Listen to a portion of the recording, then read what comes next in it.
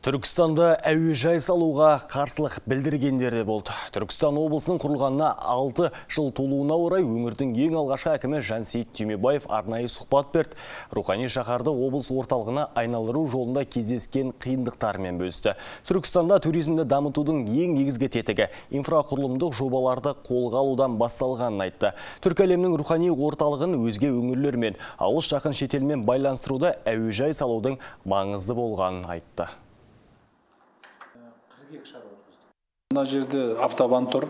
150 километр жерде шымкент. Бір сағат 20 минутта келеді. Қажеті бар ма деп сонда мен айттым «Ә, қажеті бар дедім. Біріншіден келген туристердің автобуспен машинамен ағыл тегіл келуі өте қиын ауыр болады. Себебі қазірдің өзінде бір миллионға жоқ турист келсе кейін көбейеді оның барлығы. Үш бес миллион ары қарай.